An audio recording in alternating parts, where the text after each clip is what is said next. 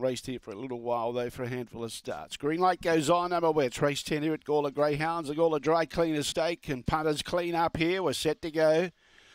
Ready away. Spring Poldark again quicker than Thunder Kick, who tried to keep it out but got chopped out. And now Spring Poldark goes to the lead for the late male followers. Clear by three or four lengths and looking really good. McAlpine in second placing. Thunder Kick tried to recover behind those. It was unlucky. He's making good ground. Uh, behind those, Willow Rose, Invictus Lenny and Black Diesel. But Spring Poldark wins by six lengths. Second, McAlpine. Third was Thunder Kick. Fourth placing was Willow Rose making ground late. About five lengths away behind it was Invictus Lenny never in it, and Black Diesel four lengths behind it.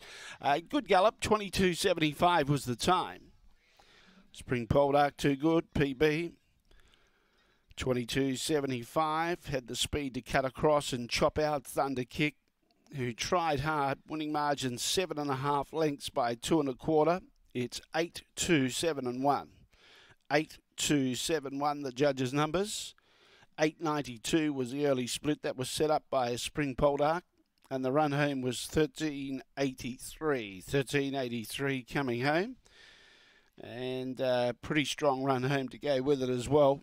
2275 PB for Spring Poldark here today. A Black Dog, December 2018, Fabregas out of Spring Grace, raced by Board Racing.